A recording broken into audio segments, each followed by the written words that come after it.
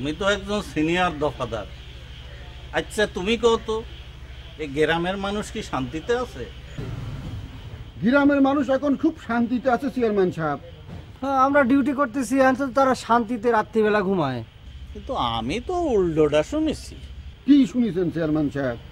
এই যে সাধারণ মানুষ সাধারণ মানুষের আগে যেরকম চোরের ভয় আছিল এখনও সিরামি আছে। আর তোমরা দুজন নাকি এই রাইতের ডিউটি ফালায় পোস্ট অফিসের বারান্দায় চাদর বিষয়ে ঘুমায় থাকো। কিটা আমাকে নামে দুর্নাম করেছে চেয়ারম্যান সাহেব? কি করছেন? আমরা তো ডিউটি দেই। দেখো কানু মনু চুরি কিন্তু সিপাই সুপাই ঠিকই চলতিছে।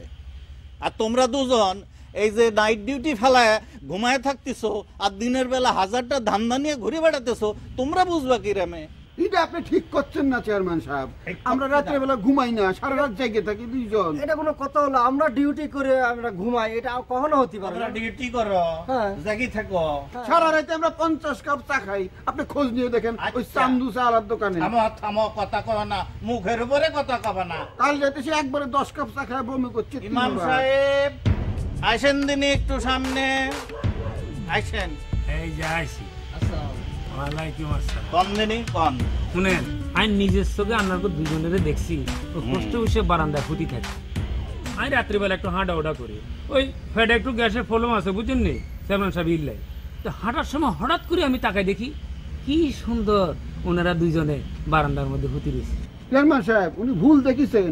আমরা ঘুমের ভাব ধরে বসে থাকি চোর গেলি টাইগারের মতো ঝাঁপ দিয়ে ধরার জন্য। কথা কয় না। আমি সব বুঝি ফেলাছি।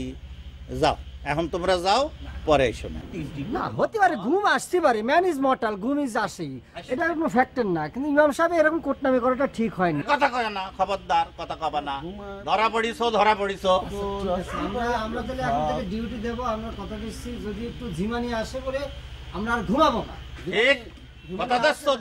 মানে আসে না চেয়ারম্যান সাহেব। এই যে ইমাম সাহেব আপনি সাক্ষী থাকলেন কথা দিল। যাও এখন তোমরা। তাহলে এক কাজ করেন আমাদের জন্য একটা ফিলাক্সের ব্যবস্থা করুন আচ্ছা দেবে না যাও যাও যাও যাও। একটা ফিলাক্স দিলে ভালো। যাও আমি ওই সেক্রেটারি রে কয়ে যাও এখন যাও। ইমাম সাহেব জুম্মার নামাজের পর আপনার সাথে আমার কথা আছে। আচ্ছা আসেন আপনাকে একটু হেদায়ত করতে হইব।